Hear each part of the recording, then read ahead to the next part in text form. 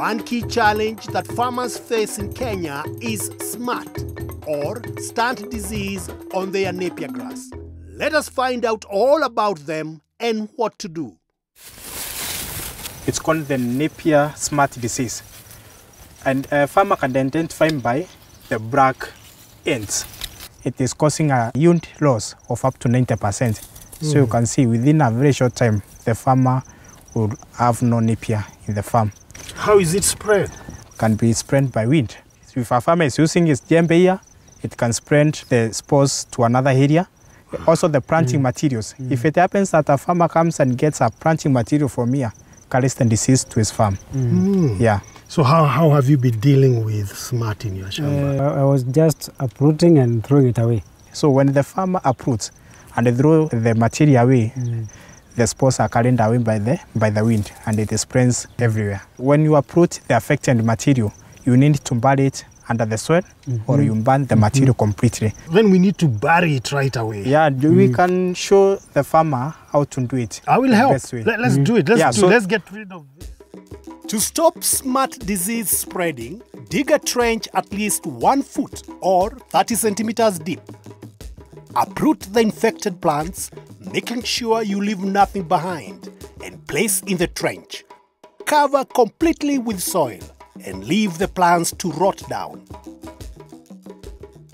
And what you see before me here is actually what we call napier head smut disease.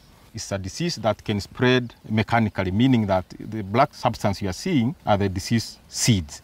If they are blown by the wind or a bird or you with your gumboots, you can continue spreading. Like uh, the napier you can see ahead of us looks healthy, but uh, it could be potentially diseased. It's a question of time, and with dry weather, you start getting this expression. Now, the problem with this expression, if you look here, there are very few leaves compared to the one that has not yet shown the disease. True. What we know is that the nutrients the animal would want to benefit from are mostly in the leaves. So it means when the leaves get fewer, there is little benefit your animal can really get from this. Mm-hmm. What can our farmer do to get good napier? Once you notice your napier is flowering like this, you should make a deliberate effort to actually uproot this, dry it and burn, or even bury it deep. Because if you give napier, this napier to your animal, this disease-causing seeds will still be in your manure. And if you continue using your manure in your napier farm, you actually continue propagating the problem. Right. Uproot, bury, or burn the affected plants. Then what? The other thing I encourage farmers, instead of just relying on napier alone, it's good to diversify, have more types of forages which you can grow. Because the chances are, even if a disease problem comes, they are not likely to be affected at the same time, all of them. So, one way of dealing with Napier smut or stunt is to plant disease-resistant varieties such as Brachiaria or Panicum grasses. But what if your Brachiaria is attacked by pests and diseases? So, Alfred, Yes. so what challenges do you face? One of the challenges is that uh, during the dry season, it's turning yellow.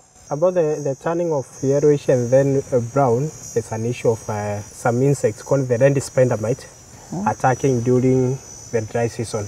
And one way of the farmer can be able to identify the red spider mite, you just need to check your field. Mm -hmm. Uh, when you, you pluck the leaf, Yes. which has been affected, you can see this one is a little bit yellowish. So mm. you need to check on the lower side mm-hmm. Mm-hmm. very closely oh. because the red spider mite are very tiny. Mm. Yes. Mm. Yeah, you can see uh, the, the Yeah. small insects Yes. which Yeah, are moving. And they're Yeah, I can see moving. Oh yeah, Oh yes. And now That's these are true. the red spider mite. Are the spider mites dangerous? Is it okay if we leave them when the brachiaria is brown? Is it bad for the cows or it's just fine? So one of the problem is that the palatability, the way the cows like that grass, mm-hmm. now they, they don't like anymore. When your forage are affected, even the nutritional value itself deteriorates. What are the solutions? Uh, one thing that uh, Alfred can do, if he can have irrigation once in a week, because the rain spider mites are not comfortable with the watering. They don't like water. they don't like water. Uh-huh. Make sure to water regularly and check your grasses for common pests such as spider mite. You may also use pesticides to get rid of the spider mite. Spider mites eat and grow on the green part of your grasses. If your grass is attacked by spider mite, harvest it immediately and feed it to your cows. Cut the grass 5 to 10 centimeters above the ground. Do this even if the grass is not fully grown yet, as it will help stop the spider mite spreading and result in less spider mites in your field. Remember to water regularly and always check your grasses for pests such as spider mite.